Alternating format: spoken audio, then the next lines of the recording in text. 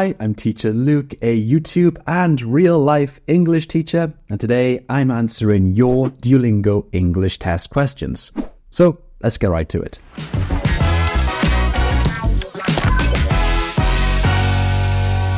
Is the Duolingo English test easier than the other tests? In terms of English proficiency evaluation, the Duolingo English test is not easier than the other exams, like the IELTS, TOEFL, or PTE the difficulty is the same. For instance, if you took an IELTS test and got a band 7, then it's very likely you'll get between 130 and 135 on the DET. All of these tests have been designed to be comparable and reliable. That said, the DET might seem easier because the interface is a lot more user friendly than the other exams and in my opinion, the other exams look a bit outdated in that regard. On top of that, you can take the DET at home and at any time you want, meaning you don't have to go to a test center and experience that kind of stressful situation. If I take the test more than one time, can I choose the best result or is the last one sent? Yes, absolutely, you can choose the best result. You can actually take the DET as many times as you would like and pick the top result to send off. On top of that, you can send your DET certificate directly to your university by using the DET portal which makes it super easy and fast. And just an FYI, you can purchase up to three tests within a 30 day period. And if you would like to, you can buy a test bundle of two tests and that will help you save a little bit of money. In my first test, I got 110, but for my MBA, I have to get at least 115. So I need 5 more points.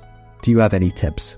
The first thing to say is well done. 110 is a good score, and you're very close to hitting your target of 115. And thanks for sending in your scorecard as well. So let's take a closer look at that now to see how I can help you. So, based on this, I can see that you need to work on your speaking responses. And how do I know that? Well, because your lowest subscores are in conversation and production, and the crossover skill that those two subscores assess is speaking. Therefore, you should focus your attention on the four open response speaking questions. They are speak about the photo, read then speak, listen then speak, and the speaking sample. I recommend you practice these four questions a lot every single day so you get used to the format and style of question. On top of that, you should be always improving your overall English, and that will help you to improve your speaking score. I've made a lot of videos covering these speaking questions. I'll link a playlist below in the YouTube video description. Today, I got my results, but unfortunately, it was invalid, so what should I do?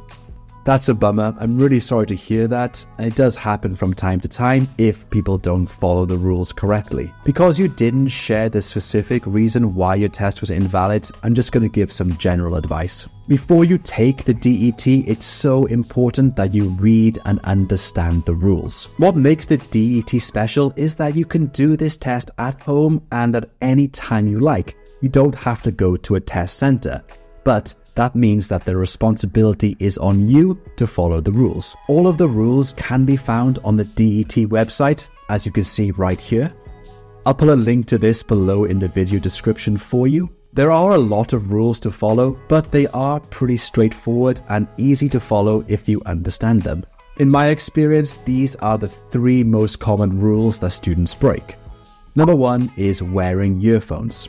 You're not allowed to wear any type of earphones or headphones when you take the test. If your computer or laptop speakers are not loud enough, you can use external ones. Number two is looking away from your screen. You need to keep your eyes on your screen for almost all of the test. This is one of the ways Duolingo know that you're taking the test independently and not cheating. Number three is having background applications open. Before you take the DET, you need to make sure you've closed all other background applications. This is for every type of application, but especially for applications like Grammarly that help you with your spelling. So read, understand, and follow the rules, and your test will not get invalid.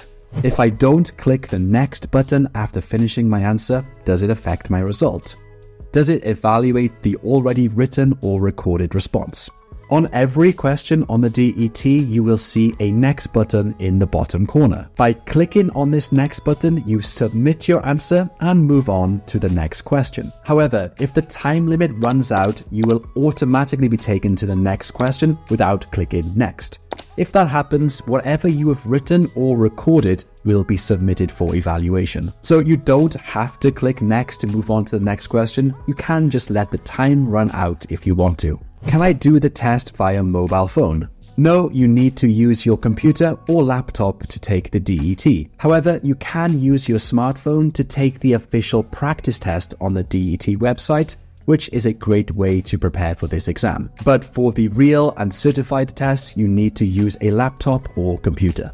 Which universities accept the Duolingo English test? A lot of universities all over the world accept the DET, Currently, there are over 5,000 institutions that recognize it. To search through these institutions, you can go to the DET website and click on Institutions and use one of the three options provided to search.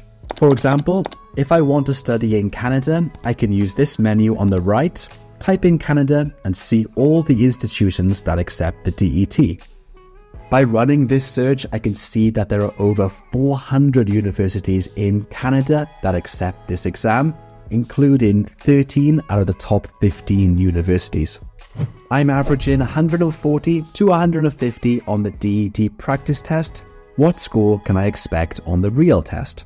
First of all, that's a solid practice test score, so well done. Now, the DET practice score is just an estimate but of course it is a very good estimate. So it's likely that your score will be within that range of 140 and 150. However, it's not guaranteed that you'll get that score on the real test. When you take the official exam, you might have a bad day and make some really simple mistakes, which would lower your score.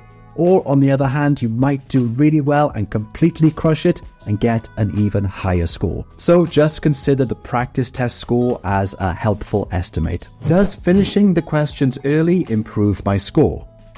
So I see why you're asking this. You might think that if you're able to finish these questions quicker, then it shows that your English is better. Thus, you should get a higher score.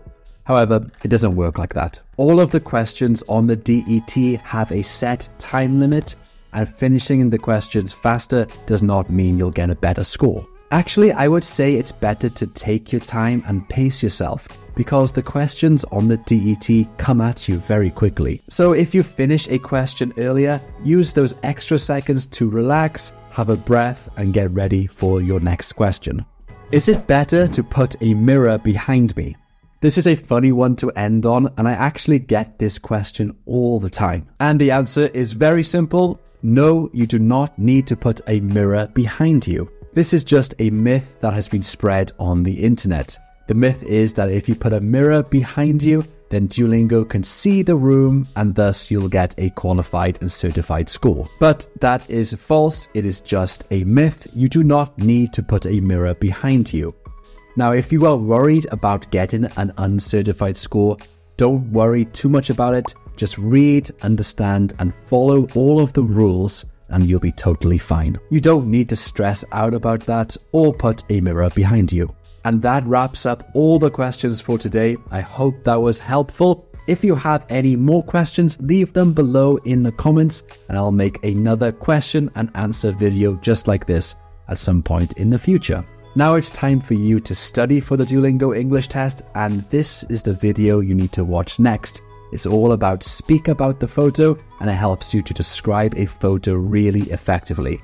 So I'll see you here right now.